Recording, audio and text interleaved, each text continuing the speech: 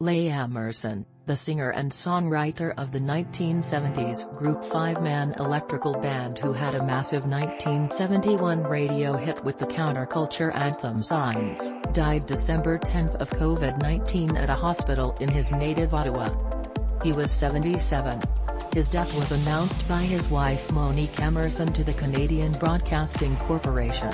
She told the CBC that her husband had been double vaccinated but suffered from underlying health issues. The singer contracted COVID last month.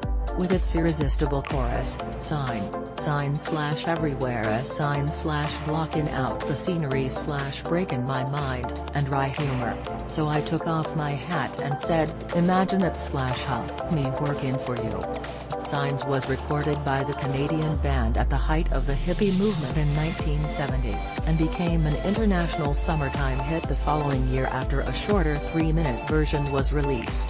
The song reached number 3 on the Billboard singles chart and eventually sold more than 1.5 million copies. The group's keyboardist Ted Gerow told the CBC, suddenly it broke in Seattle and that area and it just kept spreading. Emmerson was inspired to write the song during a road trip along California's Route 66, when he noticed the many billboards marring the scenic views.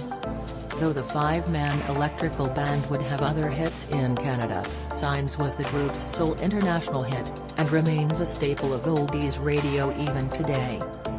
In 2005, Fatboy Slim sampled this song in his Don't Let the Man Get You Down.